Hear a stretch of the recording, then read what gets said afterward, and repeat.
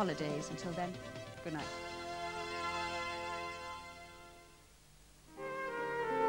Programmes tonight on BBC One.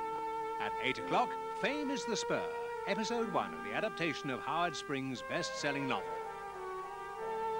My dad says the best way to get out of this place is working hard in school. I think it could be made a lot better off if people would just have a bit more guts and stand up for themselves more. At 8.50, more of your points of view, introduced by Barry Took. Then at 9.25, International Tennis, the World Doubles Championship from Birmingham. At 10.15, another chance to see Face the Music with Joyce Grenfell, Richard Baker and Patrick Moore. The late film at 10.50 is HUD and stars Paul Newman as the moody son of a Texas cattleman. Programmes tonight on BBC One.